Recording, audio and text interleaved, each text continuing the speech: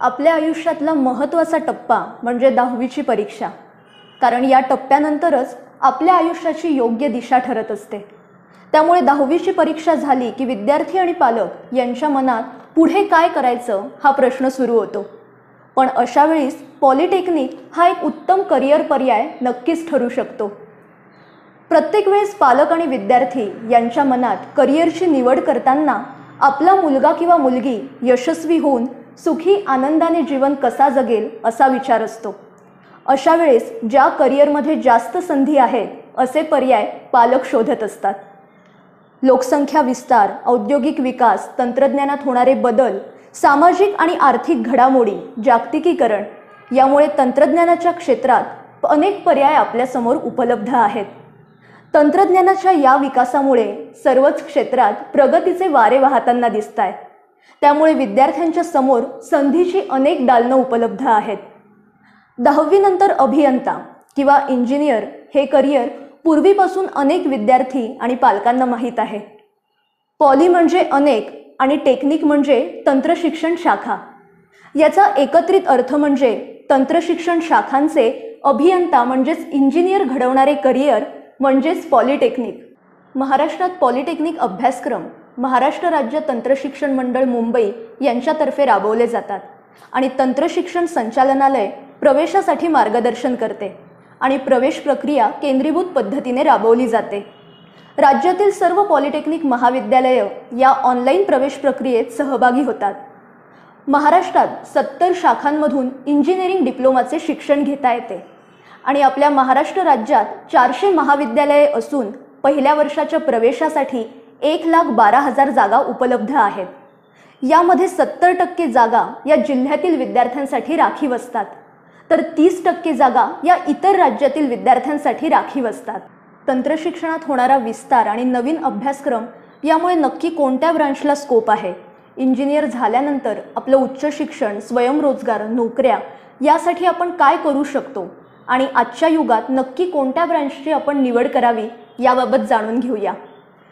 तंत्रशिक्षणात अनेक शाखा आहेत. पण यात मदर ब्रँचेस म्हणून civil engineering electrical engineering mechanical engineering या शाखा ओळखल्या जातात. आणि या शाखा नेहमीच चांगला जॉब आणि करिअरची चांगली संधी देतात. पण सध्याच्या युगात तंत्रशिक्षणात होणारे बदल आणि नवीन अभ्यासक्रम यामुळे अनेक शाखासुद्धा निर्माण झालेल्या आहेत. यामध्ये प्रामुख्याने computer technology information technology robotics mechatronics त्याचबरोबर interior design and decoration and dress designing यासुद्धा महत्त्वाच्या शाखा आहेत. पण कुठल्याही शाखेची निवड केल्यानंतर आपली आवड आपलं पुढचं ध्येय आपली आर्थिक परिस्थिती याचा विचार आपण केला पाहिजे. आणि सध्याच्या युगात नक्की कशाला मागणी आहे हे सुद्धा आपण लक्षात ठेवलं पाहिजे. डिप्लोमा इंजिनिअरिंग केल्यानंतर आपल्यासाठी नोकरीच्या विविध संधी आहेत. केंद्र सरकार आधारित उद्योग समूहात Indian railway H L Bhabha अणुविज्ञान संशोधन केंद्र सार्वजनिक बांधकाम खाते यात नोकरीची संधी आहे. त्याचबरोबर राज्य शासन आधारित उद्योग समूहांमध्ये परिवहन मंडळ R T O junior engineering नगरपालिका महानगरपालिका जलसंपदा विभाग यात सुद्धा आपल्याला नोकरी नक्कीच मिळू शकते. त्याचबरोबर खाजगी कंपन्या यामध्ये L N T Siemens A B B Tata T C S Infosys अशा अनेक नामवंत कंपन्यांमध्ये कॅम्पस प्लेसमेंट अथवा ऑफलाईन प्लेसमेंटद्वारा आपल्याला नोकरी नक्कीच मिळू शकते. उच्च शिक्षणासाठी दहा टक्के जागा उपलब्ध असतात. यात आपल्याला अनेक सर्टिफिकेट कोर्सेससुद्धा अवेलेबल आहेत. यामध्ये आपण बी ई आणि बी टेकसुद्धा करू शकतो. त्याचबरोबर स्वयंरोजगारासाठी आपण प्रशिक्षण घेऊन आणि मार्केट सर्व्हे करून आपला स्वतःचा रोजगार आपला स्वतःचा व्यवसायसुद्धा नक्कीच सुरू करू शकतो.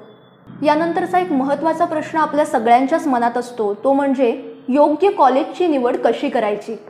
मला वाटतं की कॉलेजची निवड ही अतिशय महत्त्वाची गोष्ट आहे कारण त्यामुळेच आपले उत्कृष्ट करिअर घडते.